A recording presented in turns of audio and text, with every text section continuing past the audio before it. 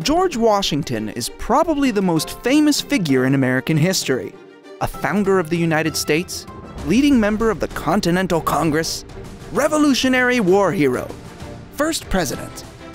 But there's so much more to the man from Mount Vernon. Here are five more facts about George Washington that you may not know.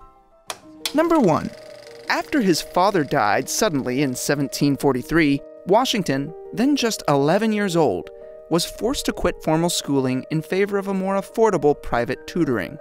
A few years later, at age 17, he began working as a land surveyor, acquiring skills that would later help him in his military career. Number 2. Ona Judge, born in 1774 in Mount Vernon, was one of the many people enslaved by Washington. During his presidency, she traveled with him, accompanying him to New York and Philadelphia. Later, Ona freed herself by stowing away on a ship headed for New Hampshire.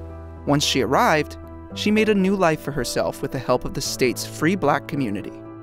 But Washington was furious at her disappearance, and over the next three years, he tried, and failed, to recapture her and return her to his Virginia estate. Ona died a free woman in 1848. Number 3.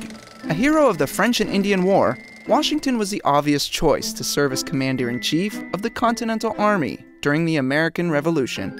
With an ill prepared and under resourced fighting force, Washington needed more to achieve victory a secret intelligence network. Known as the Culper Spy Ring, the group operated out of New York City, transmitting messages with codes in invisible ink. The spies tracked and shared the locations of British troops, as well as other enemy secrets. Number 4. After the war, Washington considered himself done with the national leadership and set his sights on reinvigorating his Virginia home, Mount Vernon. He decided that mules were the key to his success. Through his political connections, Washington persuaded the King of Spain to send him two donkeys. The one that survived the journey, named Royal Gift, sired a son, who, in turn, sired dozens of mules. Thanks to Washington, the mule became the preferred draft animal of the agrarian South.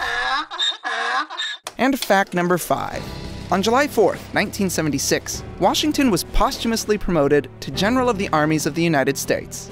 In honor of his significant contributions to the country, Congress passed a resolution stating that he would enjoy rank and precedence over all other grades of the Army, past or present.